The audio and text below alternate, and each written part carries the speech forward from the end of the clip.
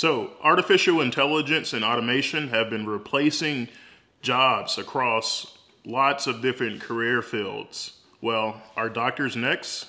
Will you soon be treated by a computer or a machine when you go to the hospital with chest pain or if you have a fracture? In this video today, I'm going to be talking about artificial intelligence and how it may change the future of medicine. What's up everyone, this is Dr. Webb here. Thank you guys for watching this video. Make sure you subscribe. New videos coming every week. You don't want to miss them. So, what is artificial intelligence? AI or artificial intelligence is the theory and development of computer systems that can replace human tasks. It's been around for a while. There are lots of different systems in place already. If you think about the self-driving cars or drones, if you think about like Google search engines or even banks have, have been using it since the 80s to track fraudulent charges and this flags a, an investigator to look into those charges.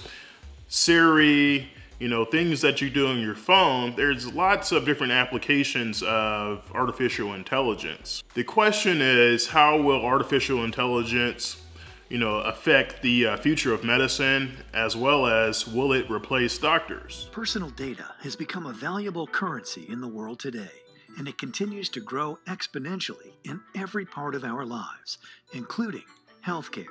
Some estimates have medical data doubling every three years, but the reality is systems are not built to easily or effectively leverage the information to help physicians make the best possible patient care decisions.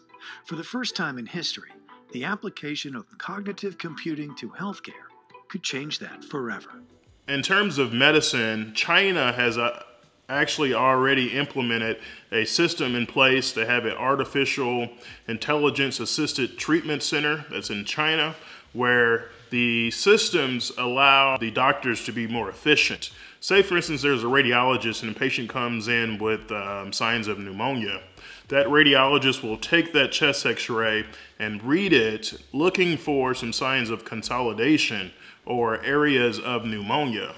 And it may take that particular radiologist, let's say, I don't know, 10 minutes or so to read that x-ray, and then he has to go on to the next one. So you can see how much time that it will take a, a physician or radiologist to read, let's say, 100 x-rays. Well, artificial intelligence is basically training the computer to diagnose certain diseases.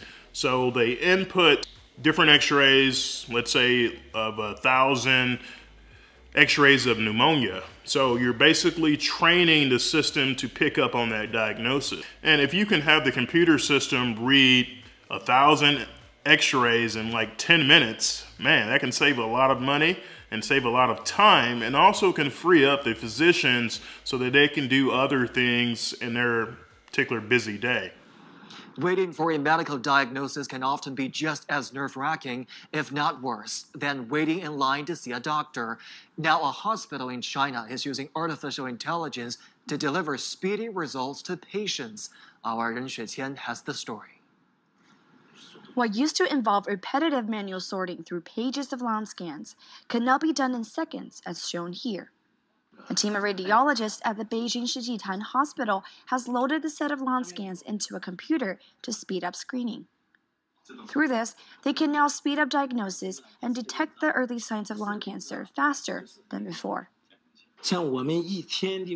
My departments of 30 people see over 700 patients every day. This new software, Peerbox, can probably do that in hours. It automates repetitive work that might have otherwise taken me longer to sort through. All I need to do is examine the scans for false positives. This gives me more time to attend to other patients and do research. There's also a big problem in the in the healthcare uh, field today, and that is human error. And we go through a lot of different years of training. We spend a number of hours studying, practicing different procedures, reading books, uh, researching articles. But at the end of the day, humans are human. They make mistakes. And one aspect of artificial intelligence for the proponents of it is that it can possibly uh, reduce human error. There are some downsides of whether or not the computer can have a glitch in it or the computer can make mistakes, but if we can somehow train the computers or the systems in place to reduce medical errors, that can potentially save a lot of people's lives. There was a study in 2016 out in Johns Hopkins University where they found that uh, medical errors are the third leading cause of death. They quoted over 250,000 deaths per year, and that number is quite debatable. But at the end of the day, overwhelming message is that there are a lot of human errors that are made. And this is maybe possibly that doctors are working too many hours and they make mistakes they're not trained well enough, and lots of different other reasons why uh, these errors are being made.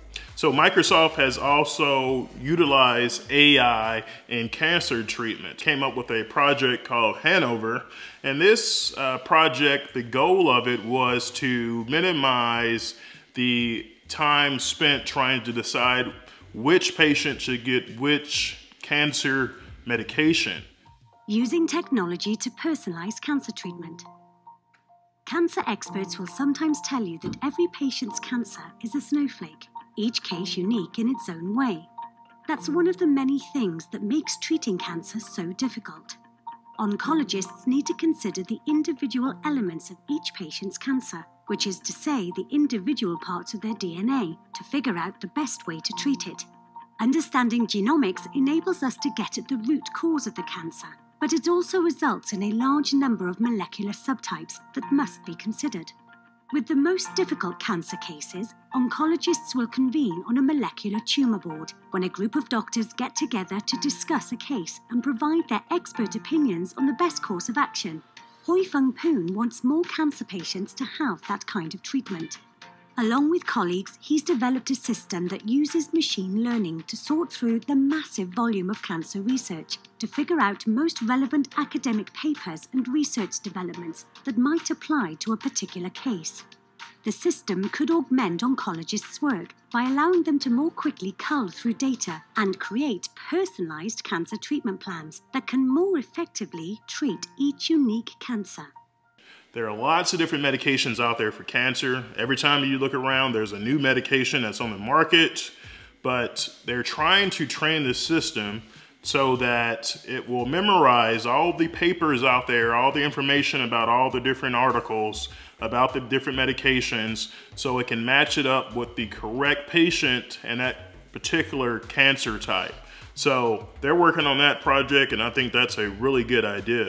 In surgery, robotic assisted surgery has been around for a while. General surgeons use uh, robotic surgery for different procedures, for really complex and really precision and accuracy in surgery. They use these uh, robots. So one particular one is the Da Vinci. This system allows the uh, surgeon to do a procedure where back in the day they used to use large incisions. Now the incisions can be a lot smaller. The patients can get home sooner and have less pain after surgery. The surgeon can also be across the room and do the surgery on the patient using the robots, using the manuals, the controls to perform the surgery from across the room. Robotic surgery provides pinpoint accuracy.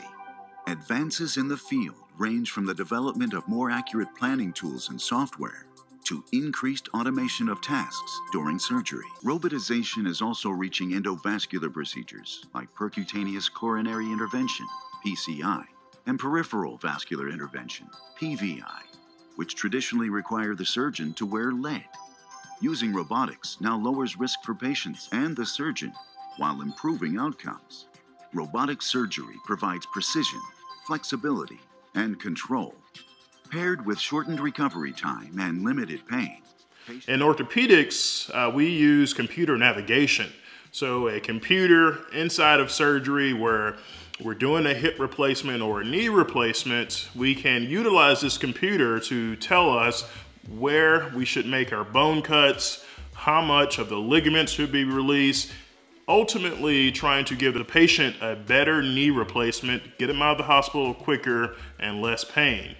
In spine surgery, robotic surgery is very common these days. It's becoming more popular. This allows us to put in screws into the parts of the spine that, it, that is within millimeters from the spinal cord, allowing for precision and accuracy, especially in a very complex type surgery like spine surgery. We have a force sensing indicator to let us know that we're skiving or moving off that trajectory. Um, two, we have the ability to click this in a direction to face that line of sight tracking so we don't have line of sight issues with that navigation. And then we can also one hand this instrumentation because it's being held on trajectory. So, do I think that artificial intelligence will replace doctors? No, I don't think so, but I do think it will be a complement. There are lots of different things that AI or artificial intelligence cannot replace that doctors have, such as empathy, communication, bedside manners, and those things. Uh, but I do think possibly it can prevent bias, um, implicit bias. Uh, there's a lot of that in medicine where a physician makes a decision based off of his own perceptions of that patient, etc. So what do you guys think? Will AI be the future of medicine? Will it eventually replace doctors? Let me know in the comments below. I'd love to hear from you. Thank you guys for watching this video. Make sure you subscribe. New videos coming every week. We'll see you next time.